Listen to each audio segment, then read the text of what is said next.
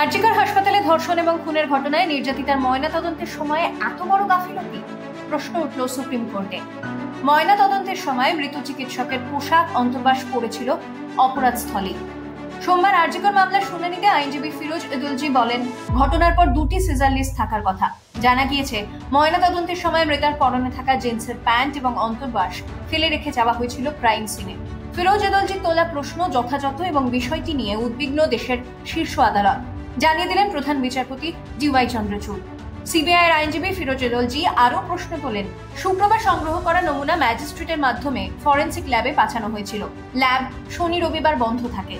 Forensic তদন্ত সঠিকভাবে হয়েছে তো? প্রশ্ন তোলেন সিবিআইয়ের আইনজীবী। সেই প্রসঙ্গে প্রধান বিচারপতি ডিওয়াই চন্দ্রচূড় বলেন, সিবিআই স্ট্যাটাস রিপোর্ট থেকে যা জানা গিয়েছে তা ভয়ঙ্কর এবং উদ্বেগজনক। সুপ্রিম কোর্টের নির্দেশ মেনে শুনানির তৃতীয় দিনে সিবিআই আর্জিকর তদন্তে দ্বিতীয় স্ট্যাটাস রিপোর্ট পেশ করেছে বিচারপতি ডিওয়াই চন্দ্রচূড়, বিচারপতি জে বি পার্দিওয়ালা এবং বিচারপতি মনোজ মিশ্রের বেঞ্চে।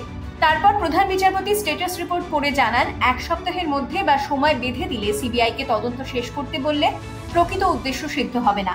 কেন্দ্রীয় তদন্তকারী সংস্থাকে তদন্তের জন্য সময় দিতে হবে। কতক্ষণে সিসি ক্যামেরা ফুটেজ সিবিআইয়ের হাতে তুলে দিয়েছে কলকাতা পুলিশ?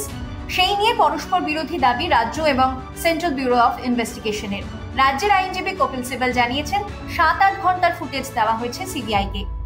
অন্যদিকে সিবিআইয়ের তরফে জানানো হয়েছে, ফুটেজ মাত্র সাতাশ মিনিটের সিবিআই রিপোর্ট দেখে তিন বিচারপতির বেঞ্চ জানিয়েছে, কেন্দ্রীয় তদন্তকারী দলের রিপোর্ট দেখে তারা বিচলিত। মঙ্গলবারের শুনানি চলাকালীন তদন্ত শেষ না হওয়া পর্যন্ত রিপোর্ট প্রকাশে না আনার নির্দেশ দিল বেঞ্চ।